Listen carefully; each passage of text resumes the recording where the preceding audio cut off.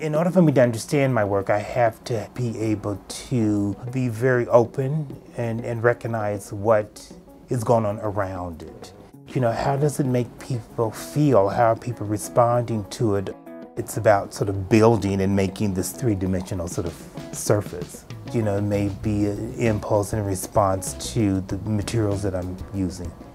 You know, I wanted to interface dance, sculpture, performance within my way of building my sort of personal sort of curriculum of, of sorts. And so that's what I did.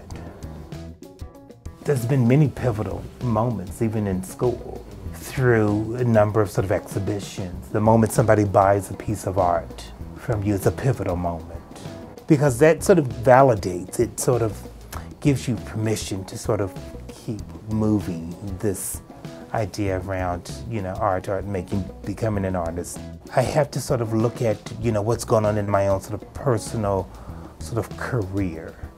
And that's what informs my sort of teaching and the expectation that I sort of anticipate coming from the students.